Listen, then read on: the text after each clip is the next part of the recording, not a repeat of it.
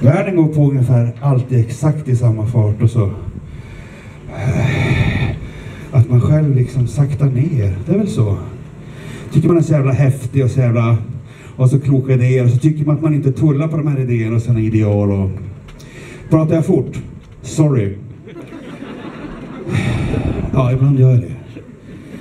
Men det är för att hjärnan, ja. Eller är det ni som lyssnar långsamt? Alltså man vet inte.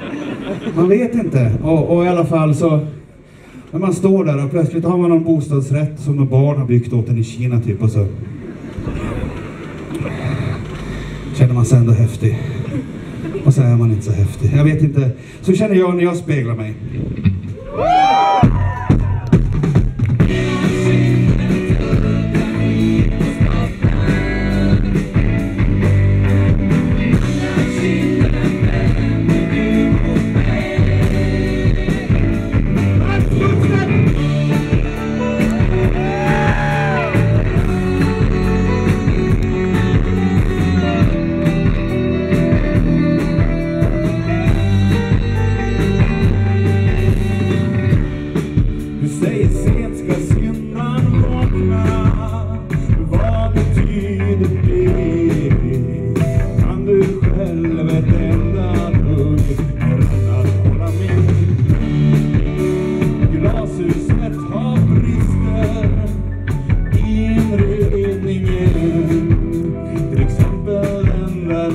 here.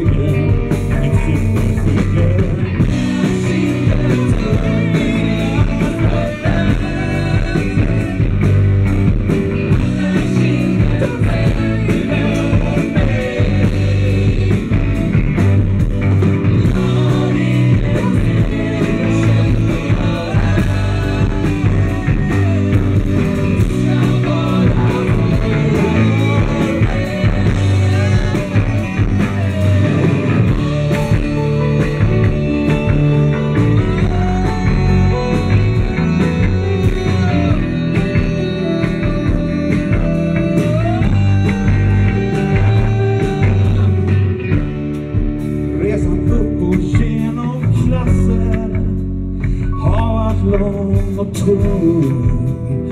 Fattar om du har